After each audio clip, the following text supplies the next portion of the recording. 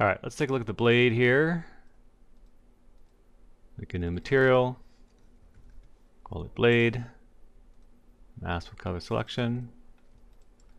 And then we'll just make it all the way metal. And this one's got kind of a, it's a little bit duller, at least on the upper part. Now I guess there's an argument to be made. I wonder, yeah, so that, this area here is definitely going to catch the light, which is, which is giving us the same kind of look there. So I think it's probably not necessary to make a new material, like a, a glossier material or something for that area. But we do have a little bit of like a, a blue tint to it once again. So I gotta figure out where that blue stuff lives.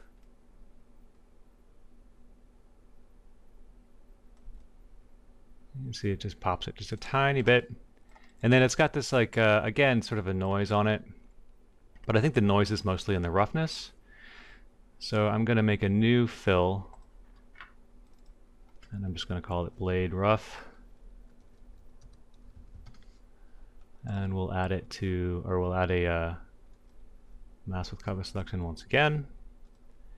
But for this, I'm only going to have it affecting the roughness layer. And I'm going to add a, go to the, the mask here and add a fill. And then I will make my life a little bit easier here.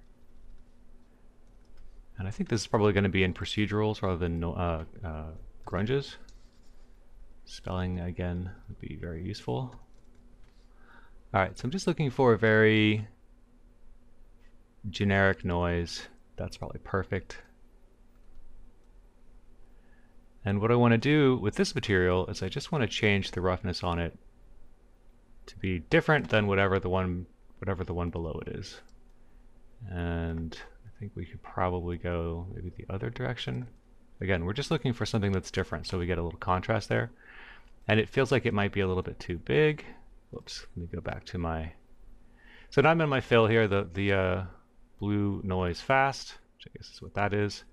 And I want to make it a little bit bigger, right? So you can see how when I uh, change this value, I'm getting either like bigger noise or smaller noise. So I kind of want to just dial that in. Let's try like a... Uh, so and if I go smaller with this value, it gets bigger because I'm effectively zooming in on the texture. So that might be okay. Again, we're just looking for like a little bit of a, like a sandblasted thing.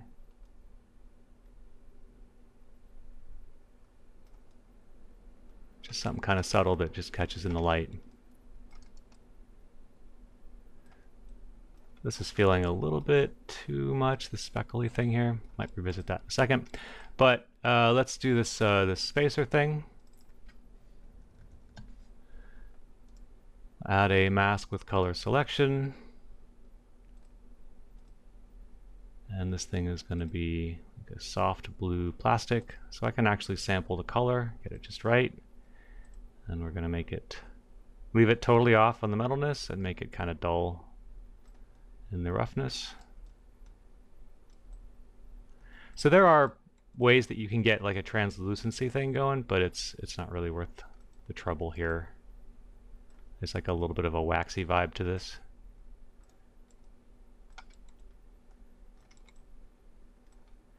So we could, if we wanted, we could add like a little tiny bit of, I mean, it's kind of there already, just with the highlight, but it's almost like there's a, the metalness underneath this coating is kind of poking through just on the edges. So let's just add that, something like that in real quick. Call this one blade edges. We'll add a mask with color selection. Sorry, not blade edges, I want this to be handle edges.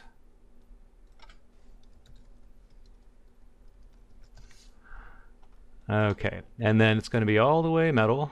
Hop over to the material itself, make it very metallic. Maybe we just brighten the color a little tiny bit. And we'll keep it nice and shiny. And then I'm going to add in here a smart mask. So we'll go down to smart masks and we'll find one that's got like some kind of edgy stuff going on. You can see some of them are focused on the on the cavities and some of them are going to be yeah here's edges strong. We can just probably look at this and perhaps modify it if we need to. So we've got our mask and then we've got our color selection. So we need to make sure that we set the mask to multiply.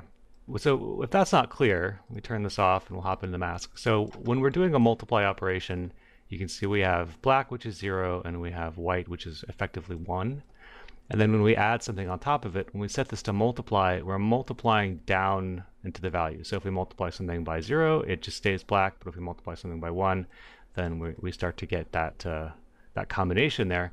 Whereas if you use like an add, it's just going to add it to everything in the exact same way, right? So like if I set this to add, it's gonna, this is already white, so that stays white. In fact, it probably goes above white, which might be problematic, but Painter probably handles that for you.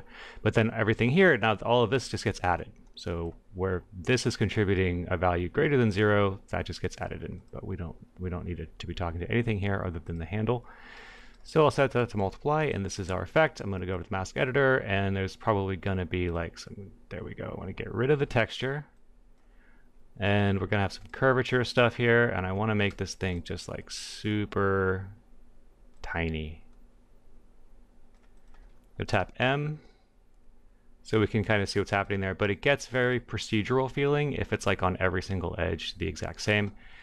So with that, we might want to do something like we could either go in and, and try to paint that stuff out, just on the edges there. What am I even, yeah. So it's like even finer than that. It's just this, this outside edge is really where it's kind of happening. So I'm going to add a paint here. Normally I would try to avoid any actual painting, but sometimes it's not, uh, not avoidable. And then whatever, we'll just grab like artistic brush. I am going to turn my symmetry on. And I need to make sure I'm on the right axis here. You can see where that line is going to be. It's like off off center for some reason. Probably something to do with the uh, fusion component of it, but let's see. So if I, if I, uh, so 0.1, so you can sort of dial it in. 0.04, let's see. That looks pretty good. Doesn't have to be perfect. You kind of don't want it to be exactly the same. And then into this paint, I'm going to paint black. So we're painting a mask. And I'm going to set my flow and opacity down a little bit. So we can just kind of knock that stuff out. And this is just with the mouse. You, you might want to use a tablet if you've got one. And we don't have to go over the entire thing. I kind of just want to show you how to get some of these, how to break up some of the procedural stuff, which can really, especially if you're, if this is a portfolio piece and you're showing it to other game artists, everybody kind of understands how easy it is to apply a procedural effect to something. Uh, so you want to make sure that you you do something so that it's not quite so obvious as to what's going on. And if you had a more complex material or model that you were trying to do this, this might take a little bit longer. But again, it's worth it's worth the effort because the game artist is going to appreciate that you took the extra time there.